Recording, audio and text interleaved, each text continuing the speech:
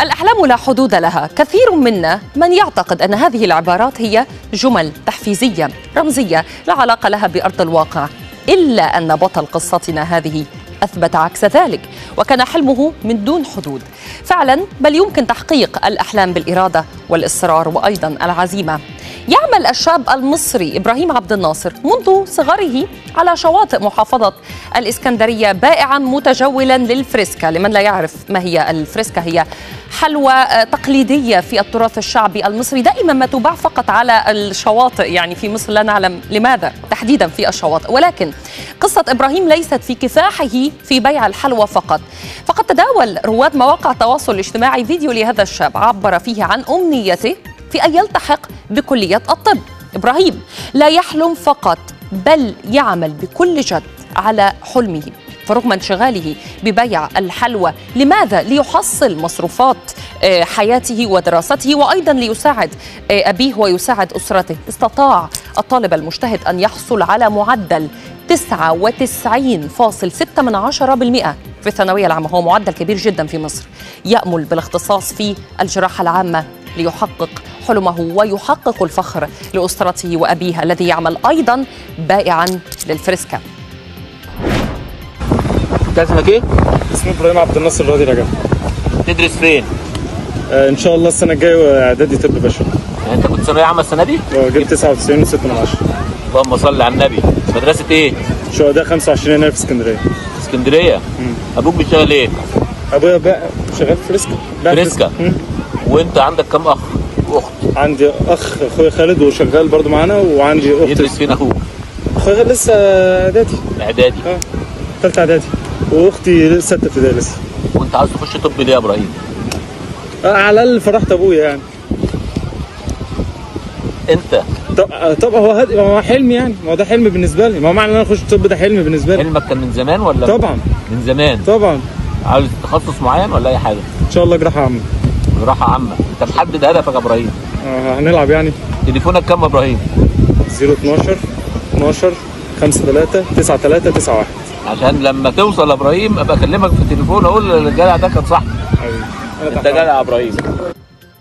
يعني الجميل أنه ابتسامه الأمل لديها أيضا رغم أنه يعني يعمل في مهنة صعبة هو يتحرك على في الشمس طوال النهار ليبيع الفريسكا أو يبيع الحلوى للجميع لجميع مرتدي الشواطئ الا انه يتحلى بالأمل وبالبساطة وبالتفاؤل والبشاشة هذا أيضا جميل جدا. طيب بعض طبعا وكثير من المعلقين على مواقع التواصل الاجتماعي كان لهم رأي في هذه القصة ونبدأ من تعليق كان من سارة فهمي قالت فيه شاب يفرح ربنا يكرم أمه وأبوه على التربية والأخلاق دي وربنا يكرمه ويحقق له كل أحلامه هو وكل الشباب اللي زيه. تعليق آخر من نادية قالت فيه يعني كما قلت إيه بشاشة وشه دي؟ وإيه الجمال ده؟ في كمية شباب زيه قمة في التفوق والأدب. ربنا يبارك لك يا دكتور إبراهيم. أخيرا أحمد علق بتغريدة قال فيها على الأقل فرحت أبويا. أول جملة قالها يعني إنه إبراهيم ذكر ذلك اولا ما فكرش في نفسه ولا قال شيء عن نفسه ولكن فكر بأبوه. الله يوفقك وتفرح أبوك بالتفوق يا دكتور إبراهيم. إحنا معنا من القاهرة مراسلنا أحمد مهران لأنه تعذر وجود إبراهيم معنا يعني في اللحظات الأخيرة نتيجة لبعض المشكلات الخاصة. أحمد أهلا بك يعني اولا كم من إبراهيم موجود في مصر؟ يتشاركوا نفس الظروف ونفس الأحلام ونفس البساطة. يعني يعملون في مهن بسيطة لكنهم بيحققوا نجاح كبير في الدراسة 99.6 من عشرة في المية هل بالفعل حصل على منحة دراسية من رئيس جامعة القاهرة؟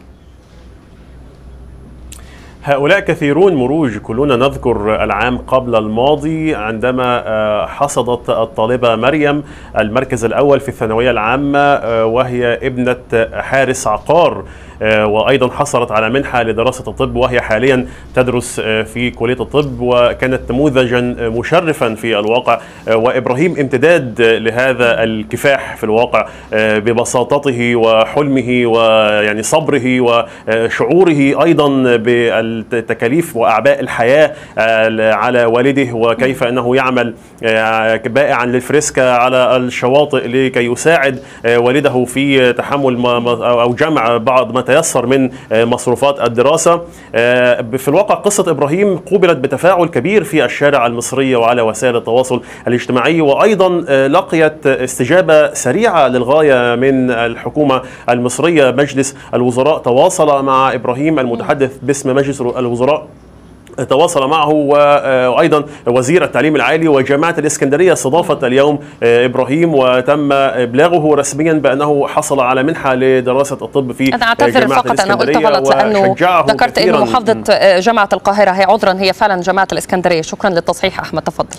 جامعة الاسكندرية نعم هو تم تخييره بين عدة جامعات في الواقع منها إحدى الجامعات الأهلية الجديدة أيضا لكنه اختار جامعة الإسكندرية ليكون ليدرس الطب بها في منحة دراسية طوال فترة دراسته. بالإضافة أيضا إلى دعم مادي قدم له من إحدى شركات الاتصالات في مصر في الواقع هي استجابة سريعة لأنه نموذج نادر في الواقع ونموذج مشرف وتمنى المتحدث باسم مجلس الوزراء أن يكون إبراهيم مجدي يعقوب الجديد في صحيح. مصر في مجال الطب. وليس مستبعدا وهناك الكثير ومصر ولدة يعني كما يقال دائما. شكرا جزيلا لك من القاهرة مراسلنا أحمد مهران أشكرك.